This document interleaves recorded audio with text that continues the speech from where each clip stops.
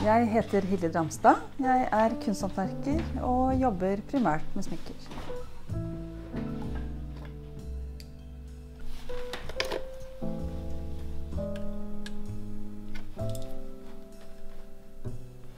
Årsutstillingen er jo en interessant utstilling for de fleste å være med på, tror jeg. Og for meg så eh, Jeg syns det er en, fint å være med på en utstilling hvor det er så mange forskjellige uttrykk og eh, teknikker.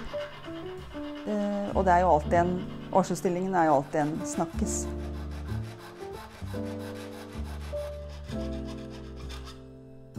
Ja, det er alltid stas å bli tatt ut i årsutstillingen, fordi eh, man søker ofte mange år, og mange år så kommer man jo ikke med. Så når man blir antatt, så det, får man alltid en liten sånn boost. Det, tror jeg gjelder for alle.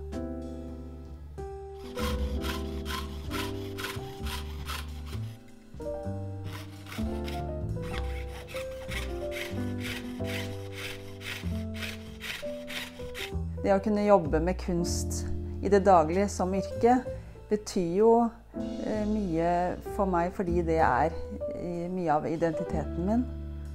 Og det er jo det jeg eh, Det det jeg brenner for.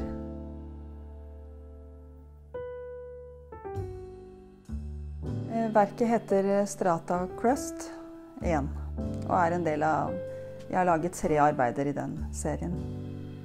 Jeg bruker eh, gips blanda med aske, som jeg eh, støper på en måte og lager en, eh, en overflate som, med forskjellige lag.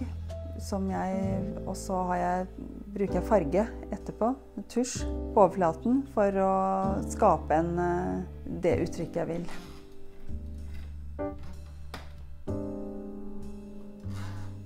Jeg har alltid noe kutt som jeg ikke vet helt hvor, jeg, hvor det kommer fra.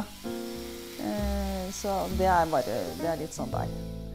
Så har jeg noen sånne blå flekker på hendene som eh, kommer av eh, sølv. Riktignok. Som setter seg som sånne blå flekker som aldri blir borte. Aldri. Nei.